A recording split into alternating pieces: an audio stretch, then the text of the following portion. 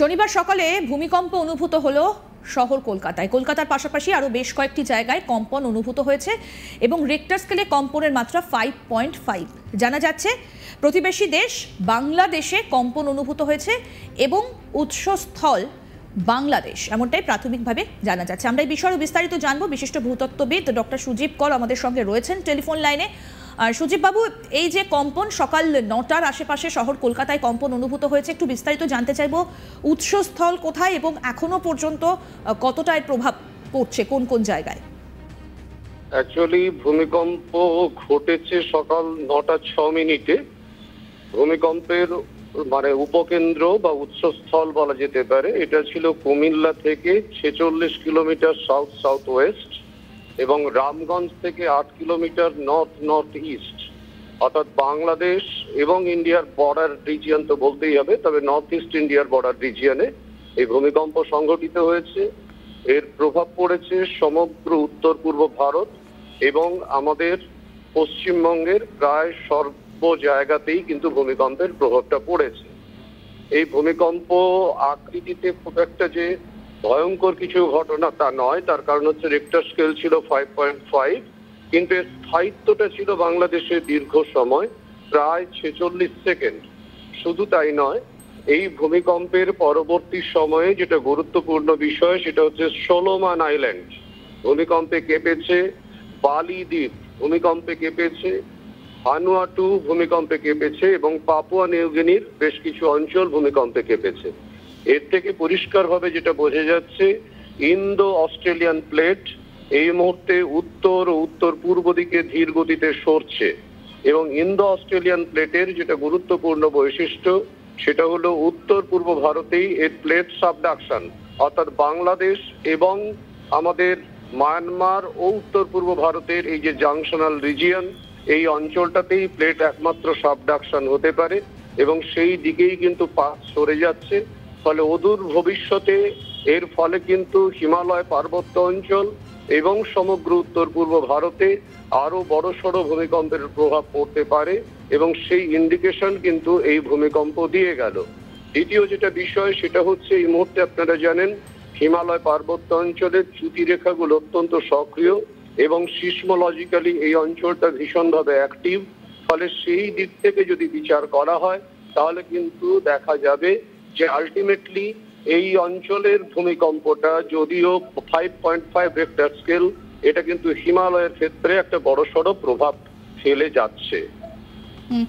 After শকের কোনো সম্ভাবনা কি এখনও পর্যন্ত দেখতে পাচ্ছেন? আফটার শক কি হতে পারে? তার কি কোনো প্রভাব পড়তে পারে এ রাজ্যে বা ভারতে? অঞ্চলে যে মানে যে জোনটাতে ভূমিকম্প হয়েছে সেখানে আফটার শক হলে মৃদু আফটার শক হবে। আফটার শক অবশ্যই হবে কিন্তু সেটা মৃদু আফটার শক হবে। হয়তো তার প্রভাব খুব একটা বেশি পড়বে না। আর ভারতবর্ষের উপরে এর আফটার শকের প্রভাবে পড়ার কোনো সম্ভাবনা দেখা যাচ্ছে না। আপনি যেটা বলছেন যে অদূর ভবিষ্যতে আরও আহ, বড় ধরনের ভূমিকম্পের একটা আশঙ্কা করা হচ্ছে এই ভূমিকম্পের ফলে। কতটা ক্ষতিগ্রস্ত হতে পারে আমাদের এই রাজ্য এবং বিশেষ করে আমাদের এই শহর কলকাতা? কারণ কলকাতা ইতিমধ্যেই একটা বিপদ সংকেত রয়েছে কলকাতার ওপর। দেখুন খুব পরিষ্কার সেটা হলো যে অঞ্চলটাতে ভূমিকম্প ঘটেছে। এটা কিন্তু একটা প্লেট জাংশন বলা যেতে পারে। কারণ একদিক থেকে আসছে ডাউকি চ্যুতি রেখা এবং সেটা এসে টাচ করেছে এই অঞ্চলটাতে। এই অঞ্চলটাই আবার মানে মায়ানমার ইন্ডিয়া প্লেট সাবডাকশন জোনের সঙ্গে সম্পর্কিত। আবার তার সাথেই সম্পর্কযুক্ত হচ্ছে কলকাতার মাটির তলা দিয়ে যাওয়া ইয়োসিন হিঞ্জ ফলে এই অঞ্চলে একটা কম্পন মানে কিন্তু এই প্রত্যেকটা চ্যুতিরেখা সেই কম্পনটা ক্যারি করে। এবং একটা ভূমিকম্প, একবার কম্পন তৈরি করার অর্থ হচ্ছে সেই জায়গার মাটি বেশ খানিকটা লুজ হয়ে যাওয়া এবং পরবর্তী সময়ে আবার নতুন করে কোনো কম্পন তৈরি হলে তখন সেটাকে ক্যারি করা। ফলে ন্যাচারালি এটা আমাদের জন্য একটা বিপদ সংকেত।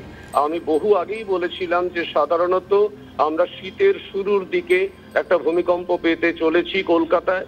সেই ভূমিকম্পটা যথারীতি সংঘটিত হলো এবং ভবিষ্যতে কিন্তু আবার শীতের শেষের দিকে পুনরায় আবার এই ধরনের কম্পন সংঘটিত হতে পারে। আমরা লাকিলি এসকেপ তার কারণটা হচ্ছে ভূমিকম্পের উৎসস্থল ছিল বাংলাদেশে। কিন্তু এর উৎসস্থল যদি পশ্চিমবঙ্গ বা পার্শ্ববর্তী কোনো অঞ্চলে ঘটতো, তাহলে কিন্তু এর ফলে কলকাতায় ব্যাপক ক্ষয়ক্ষতি হতে পারত।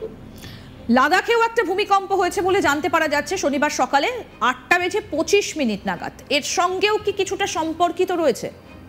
ন্যাচারালি কারণ ওই আটটা বেজে পঁচিশ মিনিট এবং তার পরবর্তী নটা, ছ মিনিট মানে উত্তর পূর্ব ভারতে, বাংলাদেশ বর্ডার রিজিয়নে তার পরবর্তী সময়ে সাত মিনিটে সোলোমান আইল্যান্ড এবং তার পরবর্তী নটা, আঠারো মিনিটে বালি দ্বীপপুঞ্জ এবং নটা, একুশে পাপুয়া নিউগিনি ফলে এই প্রত্যেকটা কিন্তু ইন্ডিকেট করছে যে Indo Australian plate north north east move করতে শুরু করেছে। এটা কিন্তু আমাদের জন্য মোটেও আশাপ্রদ বিষয় নয়, কারণ আমরাই এই ভূমিকম্পের প্রভাব পেতে চলেছি। অনেক ধন্যবাদ আপনাকে আমাদের সঙ্গে কথা বলবার জন্য। অনেক ধন্যবাদ, আমরা কথা বলছিলাম বিশিষ্ট ভূতত্ত্ববিদ ডক্টর সুজীব কর ছিলেন আমাদের সঙ্গে টেলিফোন লাইনে এবং এখনও পর্যন্ত যেটা জানা যাচ্ছে, এটা কিন্তু অবশ্যই একটা বিপদ সংকেত বহন করছে বলা যেতে পারে, কারণ ভূমিকম্প অনুভূত হয়েছে সকাল নটা বেজে ছ মিনিট নাগাদ শহর কলকাতায়। ভূমিকম্পে কেঁপে উঠেছে বাংলাদেশ। বাংলাদেশে ছিল মূলত ভূমিকম্পের উৎসস্থল, যেটা জানতে পারা যাচ্ছে দোসরা নভেম্বর সকালে কম্পন অনুভূত হয় রিক্টার স্কেলে কম্পনের মাত্রা ছিল পাঁচ দশমিক পাঁচ ফাইভ পয়েন্ট ফাইভ ছিল রিক্টার স্কেলে কম্পনের মাত্রা। ভূমিকম্প অনুভূত হয়েছে কলকাতা এবং উত্তরবঙ্গে।